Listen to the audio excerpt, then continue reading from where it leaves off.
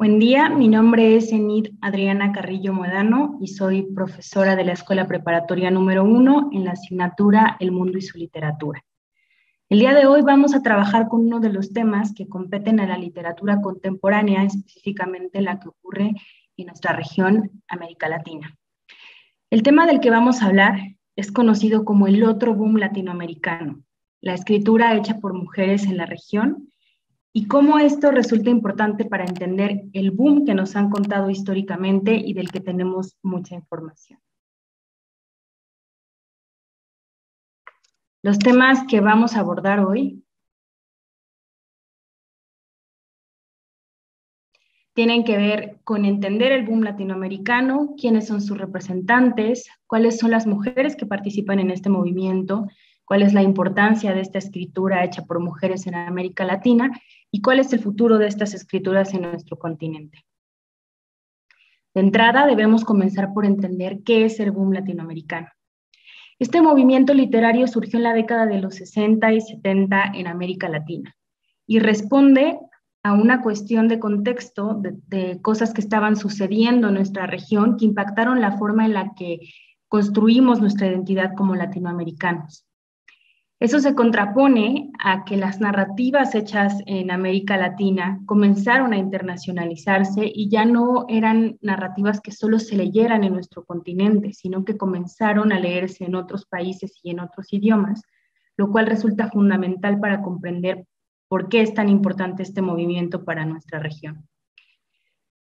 Muchos autores definen al boom latinoamericano como un fenómeno del marketing editorial que fue sostenido por una mujer editora que consideró que algunos escritores de algunas regiones de América Latina tenían la obra más representativa de nuestra identidad regional y nacional.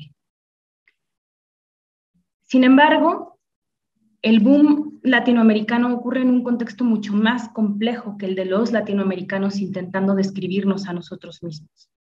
Nuestra región estaba pasando por un momento de agitación social importante en el que la revolución eh, de Cuba o la independencia de muchos otros países estaba ocurriendo. Y eso permitió que repensáramos el hecho de ser latinoamericanos.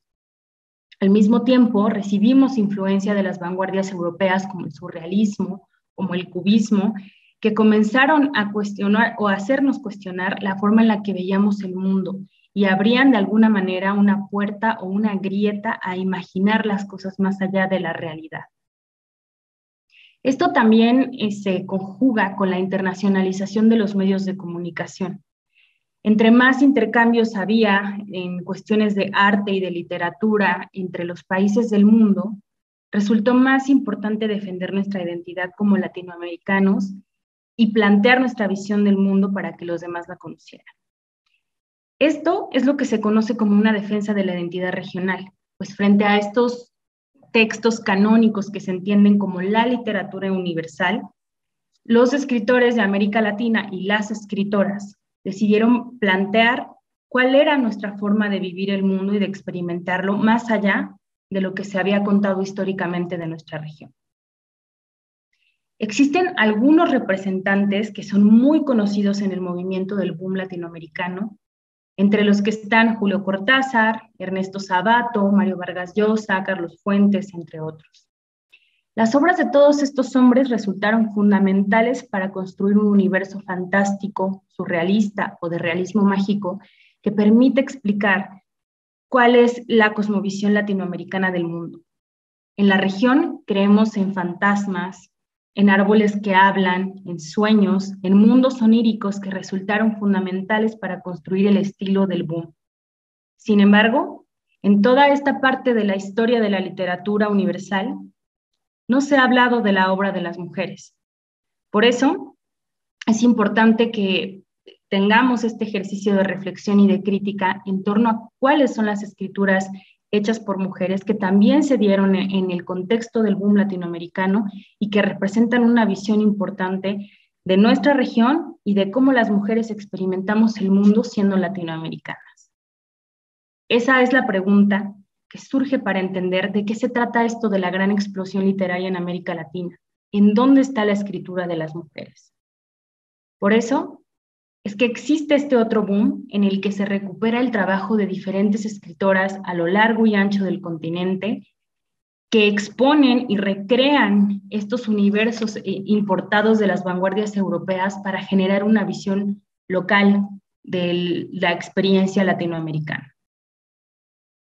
Solo por mencionar algunas de las mujeres que formaron parte de este gran movimiento, podemos hablar de Elena Garro, Silvina Ocampo, Armonía Somers, Rosario Castellanos o la brasileña Clarice Lispector. Estas mujeres hicieron trabajo literario a la par del trabajo que se hizo por los escritores hombres, pero que no forman parte del boom simplemente por una decisión de mercadotecnia editorial. Por eso es importante utilizar estos espacios para visibilizar la escritura hecha por mujeres. Clarice Lispector, por ejemplo, es autora de La Hora de la Estrella y de decenas de cuentos infantiles en los que ella recrea el universo que vive como una mujer brasileña, pero al mismo tiempo viene influenciada por su origen judío.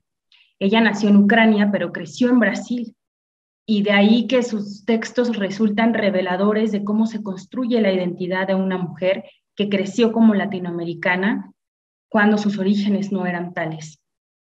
Elena Garro es mexicana al mismo, que, al mismo tiempo que Rosario Castellanos, las dos trabajan elementos fantásticos en sus textos. Elena Garro es autora de Los Recuerdos del Porvenir o La Casa junto al Río, mientras que Rosario Castellanos fue escritora de Oficio de Tinieblas, Mujer que sabe latín y Álbum de Familia, solo por mencionar algunos de sus trabajos. Destaca también el trabajo de María Luisa Bombal, una chilena que escribió una novela gótica conocida como La Amortajada, en la que se habla desde el punto de vista de una mujer que yace en un féretro y cuenta la experiencia de la muerte. Silvina Ocampo, de origen argentino, nos habla de la, en, sus textos La Furia, Viaje Olvidado y algunos cuentos de este pensamiento sobre el suicidio y sobre la muerte. Su trabajo ha sido recuperado recientemente por escritoras contemporáneas. Está la uruguaya Cristina Peri Rossi, que en sus trabajos y en sus textos eróticos consiguió un número de lectores importante, pero también ganó que fuera expatriada de su país, Uruguay, y refugiarse en España. Cristina Peri Rossi también construye un universo fantástico como el de todas las demás autoras.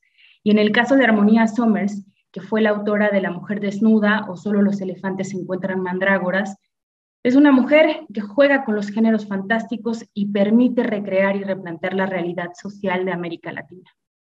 Estas mujeres no son todas las mujeres que escribieron durante la época del boom, sin embargo, son autoras que por su creatividad, por su innovación y por el profundo y profesional trabajo literario que hicieron, merecen ser consideradas dentro de otro boom generado por mujeres y por autores que escribieron al margen de la periferia. Es decir, que no pertenecieron a, este, a esta producción canónica que se conoce como el boom latinoamericano en el que están estos autores que ya nos plantearon hace un momento. Es importante señalar la importancia de la escritura hecha por mujeres en el boom. ¿Por qué? Porque plantearon temas innovadores, porque hicieron aportes de estilo en cuanto a la forma, en cuanto a la métrica, a la manera en la que creaban y recreaban su narrativa de la región y sobre todo porque su narrativa, su perspectiva del mundo está fuera del canon que nos enseñaron. Y ese canon tiene que ver con eso que se conoce como literatura universal, que en resumen es la literatura escrita por hombres. Hoy en día, muchas escritoras contemporáneas están recuperando el trabajo de estas escritoras que hicieron obra al margen del boom. Y eso representa algo muy importante para el futuro de la literatura hecha por mujeres en nuestra región. Hoy en día contamos con autoras como Guadalupe Nettel, que con el matrimonio de los peces rojos presenta una reflexión muy interesante sobre las relaciones eróticas y sobre el cuerpo. Fernanda Melchor, otra mexicana que escribió Temporada de Huracanes y que ha generado un gran ruido alrededor del mundo por lo inquietante que resulta su prosa. Samantha Shevlin, de origen argentino, que escribió Pájaros en la Boca o Distancia de Rescate. Y Mariana Enríquez, que es una de las escritoras más representativas de las obras contemporáneas, que es conocida por textos como Lo, que perdimos en el fuego, que resultan fundamentales para entender cómo funciona la nueva escritura hecha por mujeres en la región.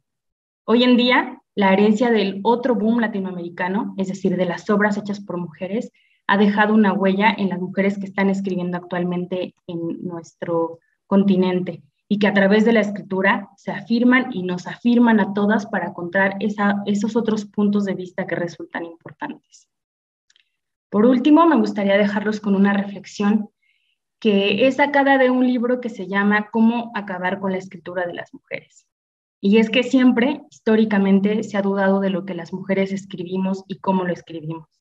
Pero hoy en día, en un movimiento y en un mundo que recupera las narrativas hechas por mujeres, es fundamental entender que hoy las mujeres están escribiendo, están generando muchísima obra publicada en América Latina y que todo tiene que ver con la gran herencia de los géneros fantásticos, especulativos y góticos que se dieron en el boom latinoamericano. Esta clase tomó como material fundamental la historia de la literatura hispanoamericana de Oviedo, de Alianza Editorial.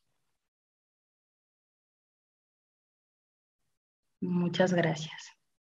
Este video es presentado por el Sistema Ciencia Garza Educativa de la Universidad Autónoma del Estado de Hidalgo.